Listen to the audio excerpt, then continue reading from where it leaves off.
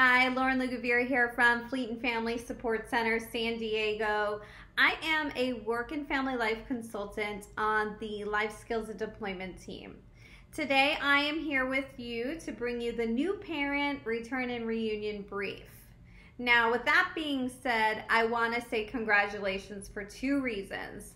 The first reason, congratulations, you are heading home towards deployments. You have embarked on such a unique journey, and now it is time for you to come home. So, congratulations for a job well done. Also, I want to say congratulations because if you are watching this, that means that you have become a parent in the past 12 months or you're expecting a new little one as soon as you get home. So, congratulations on becoming a new parent and welcome to the Parenting Club. I'm a military spouse myself with two children. They are now 8 and 11 years old.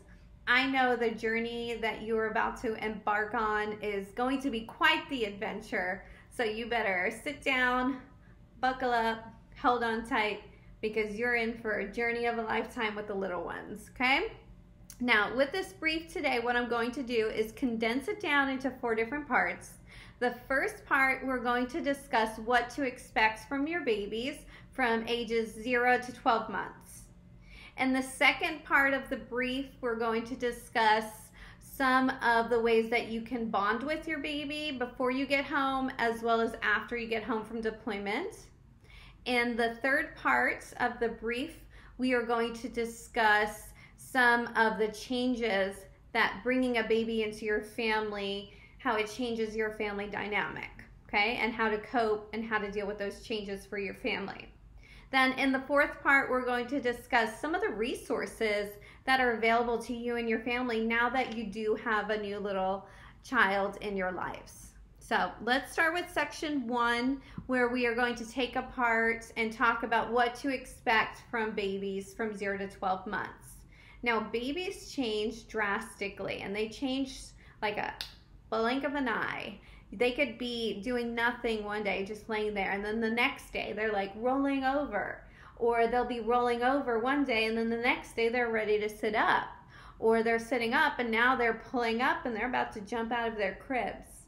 You have to be very careful of watching those little ones and knowing what to expect at what stages. So let's start with newborns. Now, newborns they are going to rely on you and depend on you for all of their basic needs.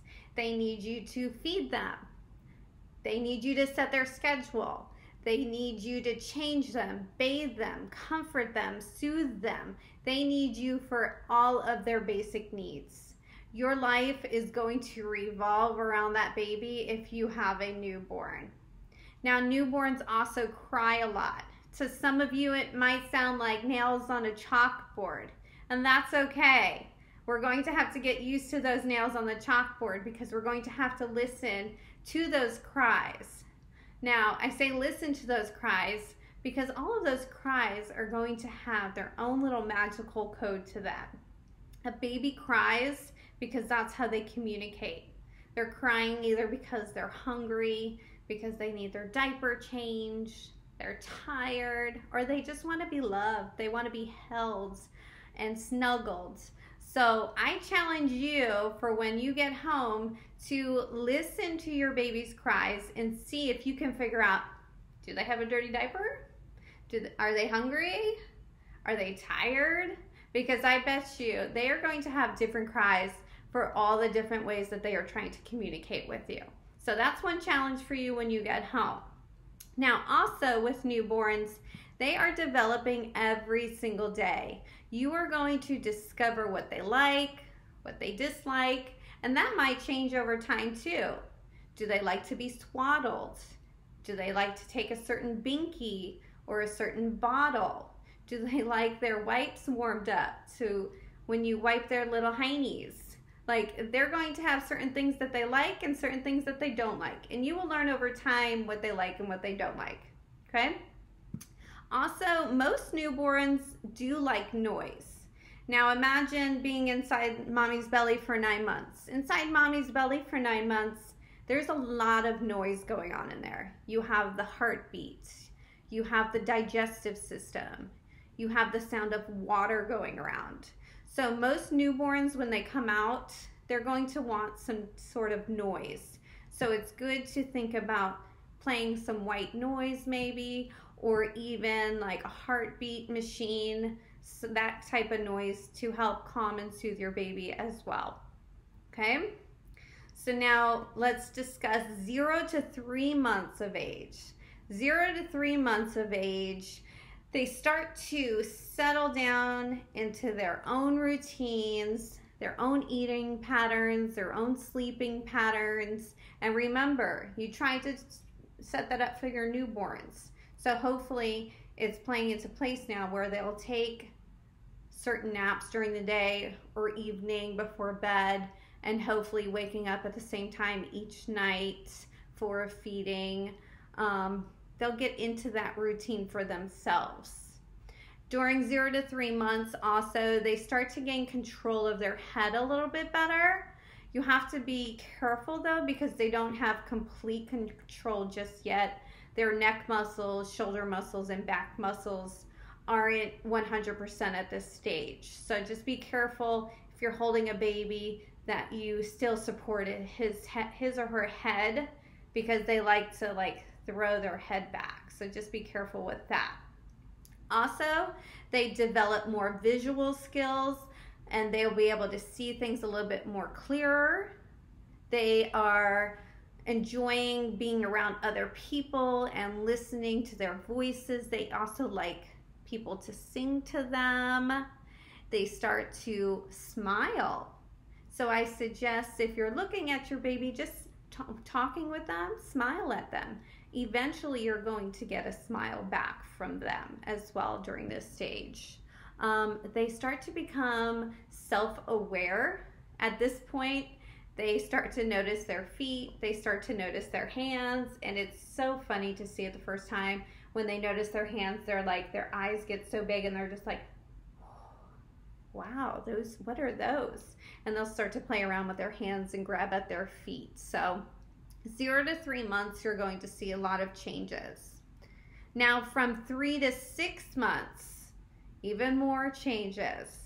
They're going to become more familiar with objects as well as people during this stage.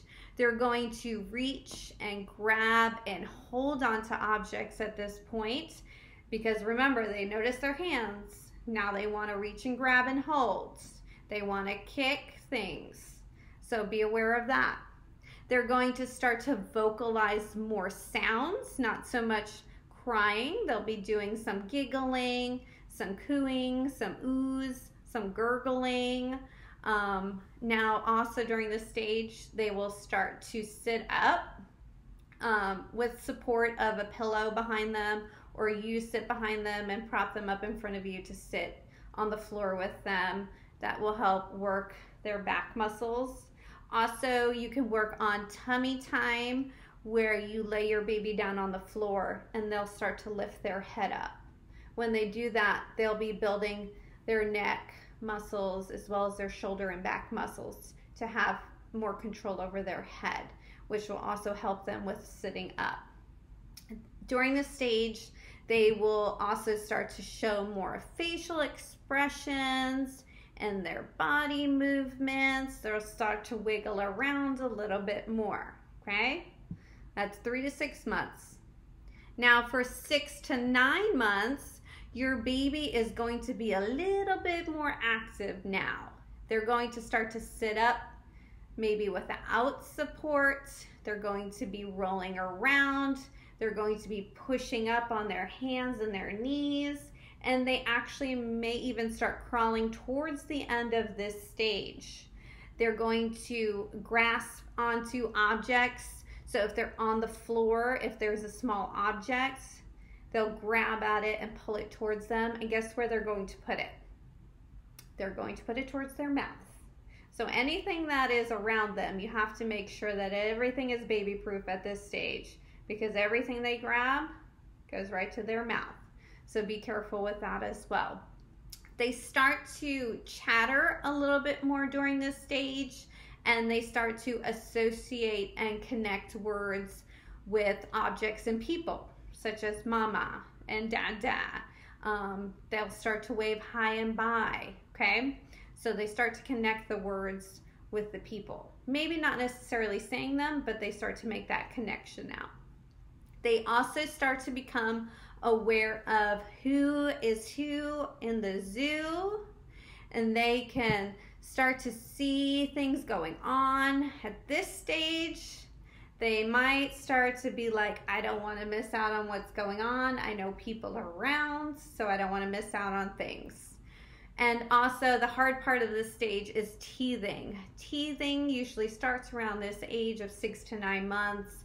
You'll see lots of drool, a lot of clothing changes, bib changes because they are going to be soaked in their own saliva from drooling, um, which might also cause them pain, a little bit more crying from that, and a little more sleepless nights from teething. Okay.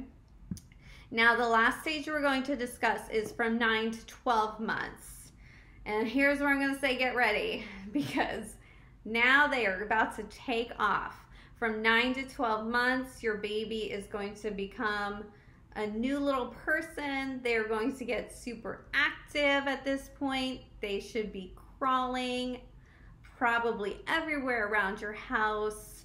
Um, they are going to be pulling up on tables and they're going to be wanting to start to take their first steps.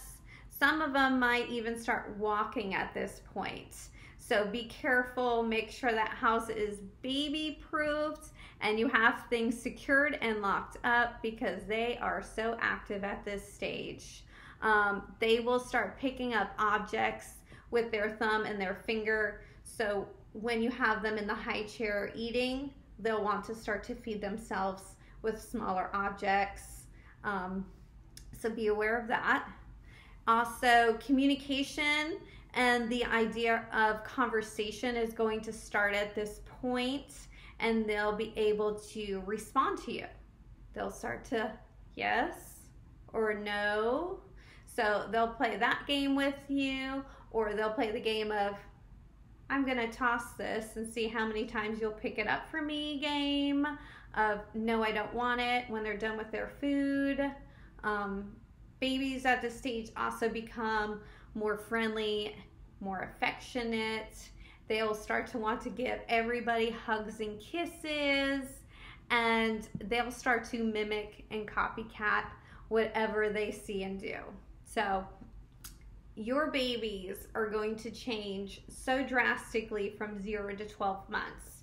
If there is a stage that you have missed out on, research that stage. Maybe see what else that you have missed. Or if you're going forward, pay attention to where is my baby? What are some things I'm going to expect? Okay. They're going to develop their own little personalities over time, and no baby is the same. They are all so unique, they all change at their own pace. Okay. So, that was part one. I'm going to see you back for part two. So I'll see you in a few minutes. Bye.